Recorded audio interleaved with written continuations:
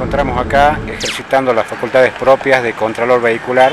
en aplicación de la normativa legal Ley Nacional de Tránsito y decretos adheridos a la misma a nivel provincial. El resultado es satisfactorio, se están reteniendo motovehículos y juntamente se está, también se está trabajando en forma conjunta con personal de la Dirección General de Transporte de la provincia,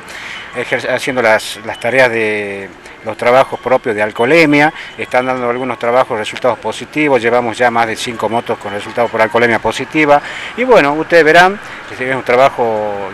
eh, arduo, en medio de una avenida con mucho movimiento vehicular, como todos los días, como todos los días la policía vial en distintos lugares de la ciudad capital, de noche, fuera de la ciudad, en rutas nacionales y provinciales, haciendo tareas de alcoholemia y, haciendo lo nuestro, la aplicación de la Ley Nacional de Tránsito.